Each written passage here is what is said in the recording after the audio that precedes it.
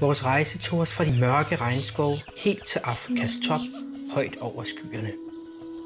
Fra den vidtstrakte savanne mod vest til det berømte Ngorongoro-krater i nord.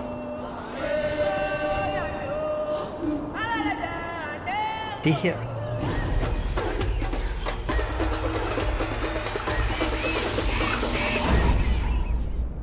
er Tanzania. Kilimanjaro, verdens højeste fritstående bjerg, og samtidig Afrikas højeste punkt med sine 5.895 meter. Det var vores første stop, og med pole pole, der betyder langsomt på Swahili, klarede vi den til tops. Men lad mig lige stoppe et øjeblik.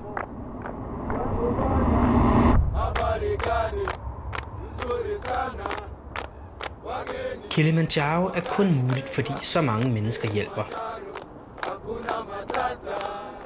Guider, kokke og bærere, de er årsagen til, at man som turist har en chance for overhovedet at nå til tops.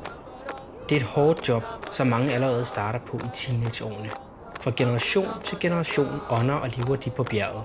Og det er ingen hemmelighed, at mange af dem gerne vil noget andet. For selvom sammenholdet er godt, er jobbet opslidende. Klokken er øh, lidt over 6, og det er pivhammerende koldt. Øhm, men det er en vanvittig flot morgen. Dagene på bjerget var udmattende, men også utrolig smukke. Et foranderligt landskab, der stille lod den tætte jungle vige for det vulkanske landskab, før vi til sidst nåede den gletsjerklædte top. Men det er en stakket frist, for også her er klimaforandringerne tydelige. I en nær fremtid vil den karakteristiske hvide top være sort.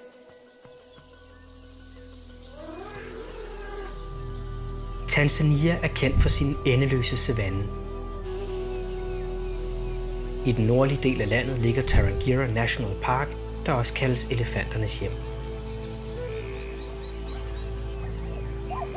Gnuer, zebra, elefanter og antiloper fulgte os på vores færd.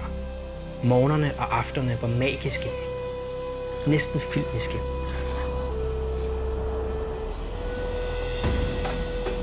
Den blodrøde sol gav liv til savannen, hvor vi fra luften kunne se, hvordan livet gik sin daglige gang.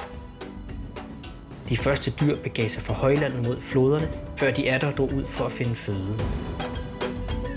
Tempoet var roligt og næsten hypnotiserende, når store flokke af knuger og zebraer vandrede forbi.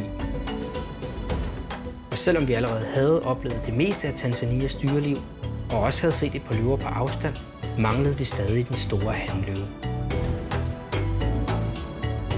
Fra elefanternes hjem gik turen mod nord til den sovende Ngorongoro-vulkan, der består af et stort krater med ca. 600 meter til kraterbunden. Arealet er begrænset, og fordi der ikke på samme måde er tørke, bliver dyrene her hele året.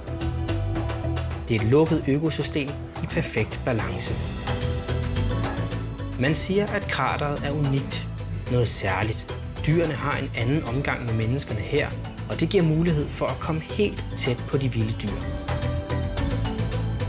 Det var også her, vi oplevede, hvordan naturens barske side er. I ly af nattens mørke havde løveflokken nedlagt en zebra, og vi fik endelig lov at møde en stor handløve helt tæt på. Tanzania. Det er, som man forestiller sig, og mere til.